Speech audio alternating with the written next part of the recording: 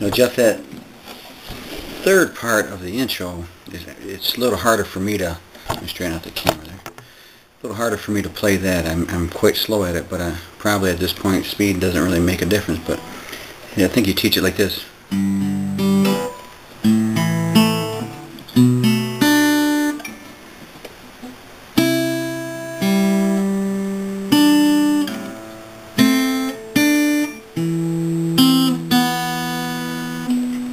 Yeah, I got to memorize, I think, but man, am I slow at it. The other parts are not too bad. I mean, anyways, uh, so uh, appreciate the lessons, and I'll just keep plugging away at it.